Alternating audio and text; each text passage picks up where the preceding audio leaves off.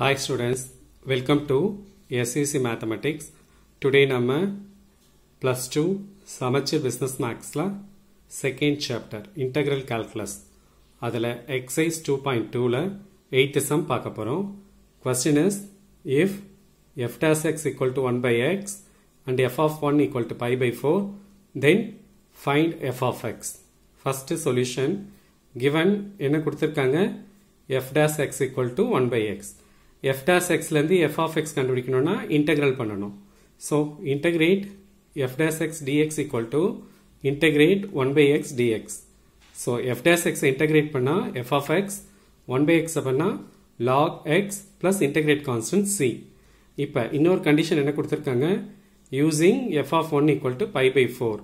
we get pi by ஃபோரை apply பண்ணுங்கள் so pi by four apply பண்ணால் இங்கே என்ன ஆகும்?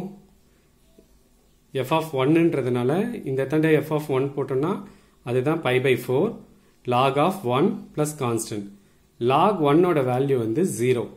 ஸோ இது ஜீரோ ஆயிடுச்சுன்னா அப்போ zero plus C C C equal to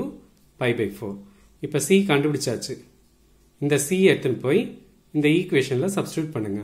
Thus f of x equal to log x plus pi by four இதுதான் இந்த எயித்து சம்மோட ஆன்சர் ஸோ இந்த வீடியோ உங்களுக்கு பிடிச்சிருந்தா லைக் பண்ணுங்கள் ஷேர் பண்ணுங்கள் கமெண்ட் பண்ணுங்கள் சப்ஸ்கிரைப் பண்ணுங்கள் மறக்காமல் பெல் பட்டனை ப்ரெஸ் பண்ணுங்கள் தேங்க்யூ